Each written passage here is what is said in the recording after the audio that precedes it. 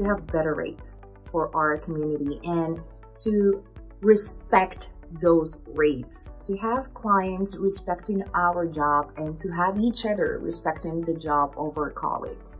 I think that's one of the most positive changes I would love to see.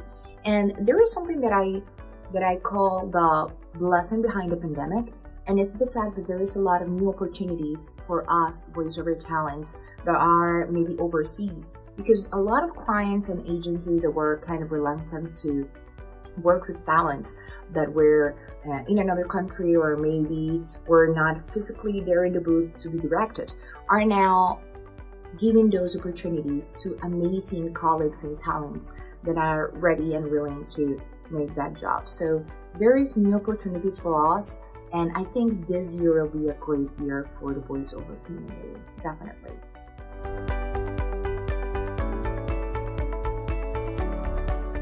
I think other colleagues can make this happen working together as one.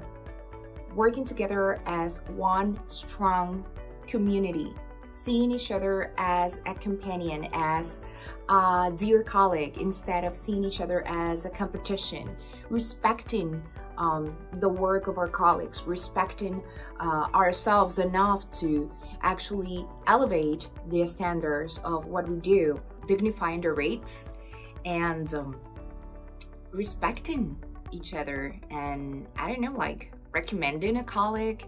Because let's be honest, there is no way we can do all the jobs that land in our hands. So, yes, why don't we recognize the great things our colleagues can do and give them that job? Maybe they need that too. So, I think we can do that working together as one and respecting each other enough to elevate the standards of the voiceover community we can do it. We can make it happen.